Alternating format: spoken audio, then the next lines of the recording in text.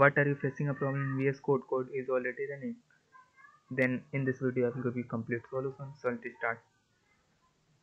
So if you want to solve your problem then you need to do one setting. You have to run your code in a terminal not in output. When you run when you run your code in a terminal then you will not face this kind of problem.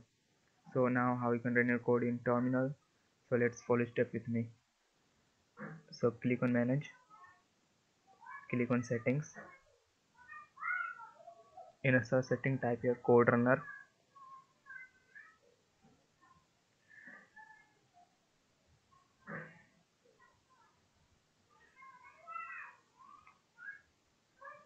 And scroll down.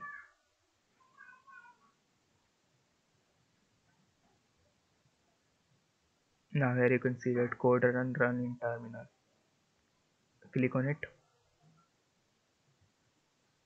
hey look at here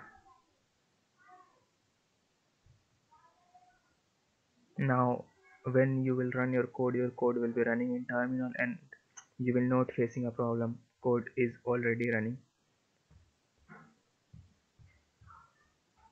So thanks for watching. Take care. Bye bye